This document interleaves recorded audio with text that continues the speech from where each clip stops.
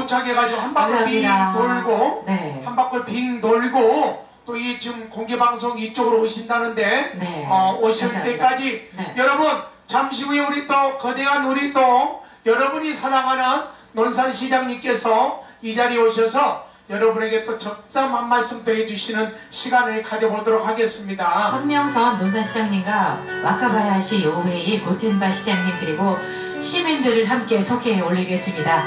큰 박수로 환영해 주시기 바랍니다. 박수 한번 주세요. 네, 환영합니다. 아, 시민 여러분, 관광객 여러분 반갑습니다. 안녕하세요. 황명선 시장입니다. 환영합니다. 네.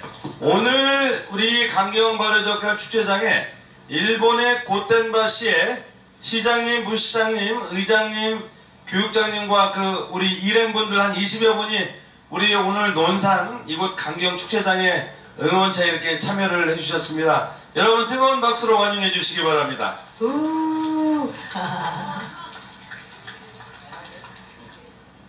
자, 우리 먼저 우리 에, 일본의 고텐바시하고 지금 3년째 하고 있는데요.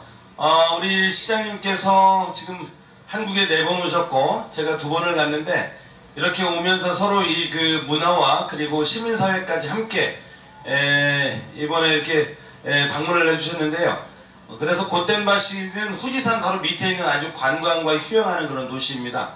아, 아, 그 고텐바시에 우리 시장님과 주요 지도자분들이 다 오셨는데 앞으로 우리 논산시하고 계속 지속적으로 우호 협력을 체결해서 서로 이제 민관 교류까지 활, 에, 활성화해서 서로 양도시가 그리고 양 시민들이 서로 이렇게 발전하고 화합하고 더 발전하는 그런 계기를 갖게 오늘 냈습니다. 우리 시민 여러분, 관광객 여러분, 좋은 추억 만드십시오. 감사합니다. 감사합니다.